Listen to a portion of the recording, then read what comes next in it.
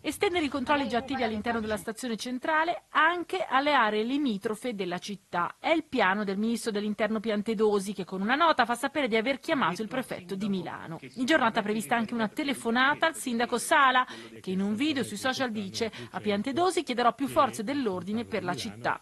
È un fatto assolutamente grave. Lasciatemi anche premettere che io non ho mai detto che non c'è un tema di sicurezza. Sfido chiunque a trovare mie dichiarazioni in questo senso. Ho detto e lo ribadisco che Milano non è in emergenza.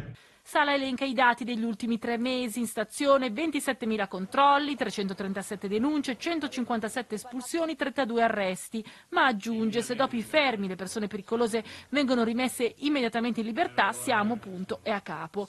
Sui fatti di ieri immediate le reazioni degli esponenti di centrodestra in testa il leader della Lega Salvini. Una notizia sconvolgente, la stazione centrale di Milano si conferma a grave rischio, ha detto. Andrea Mascaretti, deputato e consigliere comunale di Fratelli d'Italia, Italia accusa la giunta milanese di non aver fatto abbastanza. Lo scorso anno, durante il bilancio, l'amministrazione aveva approvato la proposta di Fratelli d'Italia di installare almeno 100 nuove telecamere proprio per presidiare la stazione centrale e invece questa cosa non è ancora avvenuta. La sicurezza della stazione centrale era stata un mese fa uno dei temi dell'incontro in prefettura tra il sindaco di Milano e la presidente del Consiglio Meloni.